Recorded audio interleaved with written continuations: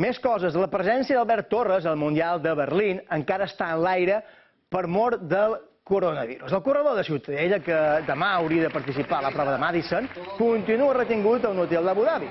Torres ha corregut aquests dies amb el Movistar Team al Tour dels Emirats Àrabs, que ha quedat suspès pel positiu de dos massatgistes italians.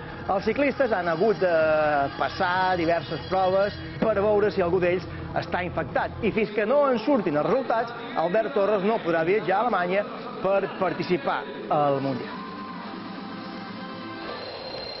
Qui no podrà anar a Abu Dhabi la setmana que ve és Mario Mola. El motiu també és el mateix, el coronavirus. Les sèries mundials de triatló que començaven dissabte que ve als Emirats Àrabs han estat posposades, ajornades per al contagi de la malaltia. Una decisió que ha afectat gairebé 3.000 atletes. Encara no hi ha nova data, però està previst que la competició es farà a finals de març o durant l'abril, si va bé, sempre que no es mantengui aquesta, l'actual conjuntura.